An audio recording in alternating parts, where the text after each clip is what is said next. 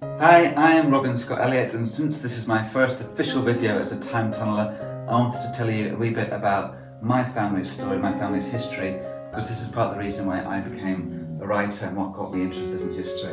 So this picture that hangs here in our house is of W.H. Anderson.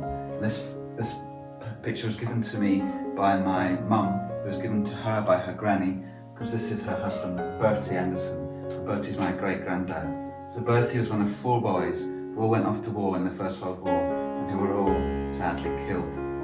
So when I was a boy I was told about the story. When I grew up I wanted to find out about how much of it was true and see what I could find, find about it. So I spent a couple of years working my way through archives and to family members to see what I could gather and find out about the family. This is some of the stuff I've got. So this is the story of the four boys. So here we've got the four. Bertie, my great-granddad, Ronnie, Charlie and Teddy. This was taken obviously when, uh, a few years before the war. So when the war starts in 1914, they all join up the army because everyone's quite excited by war in those days because they didn't know what was going to come.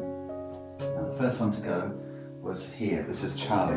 Charlie was actually already in the army and he was in the Indian army because there were lots of Indian soldiers in the First World War.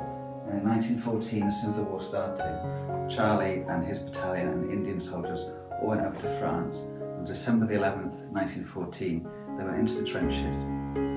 Eight days later, what must have been like for the Indian soldiers suddenly in this freezing cold, muddy um, environment. Eight days later, there's a big attack. When they come back from the attack, Charlie's disappeared. There's no sign of him. So a telegram is sent to his dad, W.J. Anderson, Woodside Terrace, Glasgow. And this telegram says that uh, Charlie is reported missing. This does not mean necessarily that he is either killed or wounded. So that's in December 1914, and it wasn't until August 1915, so what's that, seven months later, that he was reported that he was actually dead. So the poor family had to hang on all that time not knowing what was happening to him. So the next one to go into the trenches was Ronnie here. Ronnie was a really tall man, and he was so upset by his brother's death that he joined the same regiment um, and he went into the, into the trenches in 1915. In October 1915, he was killed in the trenches. And I found out about him being killed in a place called the National Archives in Kew. This is where you can go if you want to find out about your family, if you want to dig into your family's history. This is where copies of all these documents are kept. You go down there, you make an appointment, and it's a bit like being a detective. You've got to pull the bits of the story together from all these different bits of information, and sometimes you have to wear white gloves because the papers are so old. Because remember, these are more than 100 years old, these papers.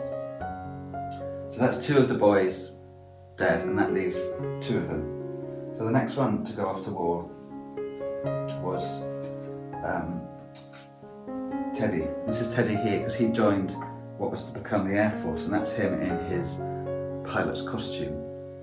This is actually a picture of him flying the plane. You can see those planes there, how tiny they are. Don't know about you, but I wouldn't want to go up in one of those. So Teddy goes off to war, and we have here a letter. It's an actual letter that he wrote back from the front, and it says here, 1916 on the Somme. It's so delicate, I can't really touch it, so that's what's in this plastic envelope. And then it gets to 19, 1918, so the last year of the war, in March 1918. This is an album Nora, their mum, put together after the war, NK Nora Kerr Anderson, 1918.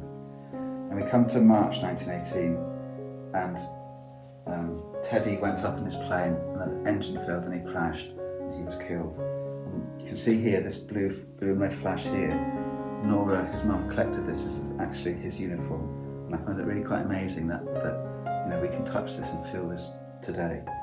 And here, got this little calendar, March 19, 1918. On the 16th of March, there's a little line through it, because that's when Teddy was killed.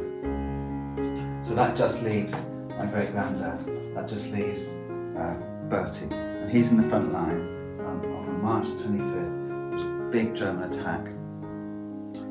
And reports of this got back to Glasgow. No one knew what had happened to Bertie.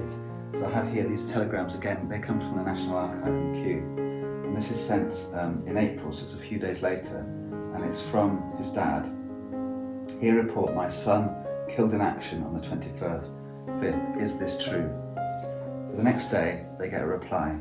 Because obviously they want to know if their last son is still alive. The next day, they get this telegram back saying, no report of any recent casualty. So that means that he might still be alive. Two days later, though, his wife, Gertie, who lives near Loch Lomond, gets this telegram. Deeply regret, Lieutenant Colonel W.H. Anderson killed in action. So Bertie was dead. So all four of the boys who went off to war, they were all killed. And I found it amazing and really quite moving finding out the story because I found things like this. This notebook here, just an ordinary notebook, it's full of um, little poems and writings, and this is this is Bertie's notebook. And he had this with him in the trenches when he died, and now we've, got this. So that's a really precious thing to have.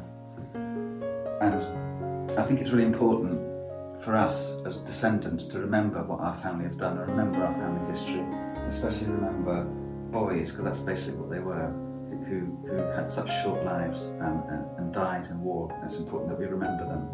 And my writing challenge to you is try and find out a story about your family.